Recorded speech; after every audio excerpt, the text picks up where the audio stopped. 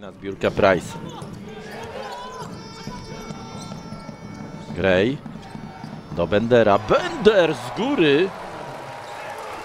No i tylko trzy punkty przewagi Sokoła.